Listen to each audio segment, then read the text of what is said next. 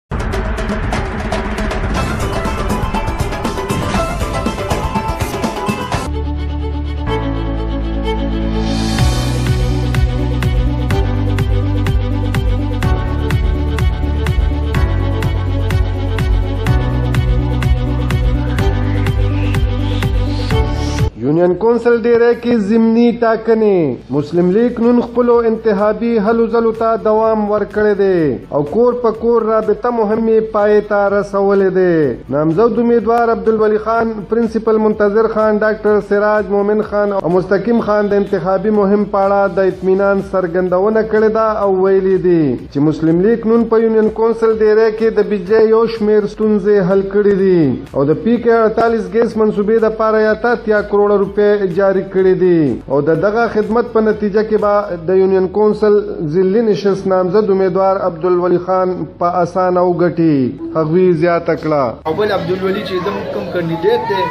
ان شاء الله د د پشانې کاندیدیت بل د قران حافظ هم دی او خود د سکول پرنسپل هم دی ان شاء الله په ټولو کې به ان شاء الله تاسو به د کار کار وینئ کردار به وینئ ان شاء الله ډېر ښکلی کردار به دا کمپاین ډېر په شور سره روان دی او ورځې چې څومره کمیږي نو دومره زموږ کمپاین سیوا کیږي خلک را سره وخت تر وخته چې ورځ تیریږي نو ډیریږي نو امید ساتو چې را زموږ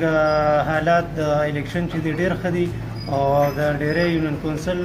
د عوامو ته دا اپیل کوو چې د تیس تاریخ باندې د ازمري نه حیات ساتي او په ازمري باندې مغرور دی پارټي ورته ټیکټ ورکړی دی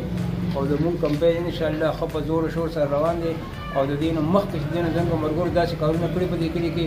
چې هغه د چانه پټ نه دي ان شاء الله او ټول کار دي او د هغه کارونو د هغه کارکردګۍ په بنیاد ان شاء الله موږ د توقع ساتو چې دا ټول کړی زموږ کارونه به یې دا موږ دا پیرون ووټ راکړي او زموږ دا کاندیدات ان شاء الله کامیاب وي زه اوس هم دا چیلنج ورکوم چې مونږ نه ایم پی او نه ایم این ای او نه د ډیسټریکټ ممبر خو چې مونږ په دې کلي کې کوم د بجلی کارونه کړي دا یو منسټر هم نه دی کړي نو ان شاء الله په دې باندې موږ اوس هم د خلکو نه توقع ده او خلک هم غواړي چې بیا دوباره دلته د ډیسټریکټ ممبر د مسلم لیګ نه راشي چې دې کومې پاتې کړمې چې دا هم حل کړي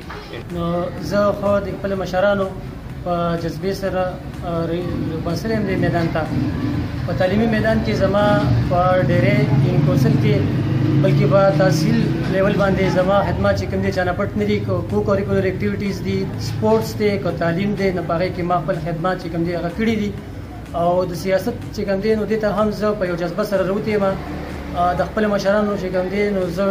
شکریه ادا کوم چی هغوی چی کوم دی په ما ناچیز باندی دونه اعتماد کړی دی او ان شاء الله چی څنګه زما په دی مشرانو په ما باندی اعتماد کړی دی او دغه شانتی د اعتماد توقع زه د خپل د یو سی د ډیره غیور پښتنو ته خویندو میندو ته دا توقع لرم چی ان شاء الله د عزت دا پګړی به دی په 23 دسمبر د اتوار پر سګندې د پاکستان مسلم لیګ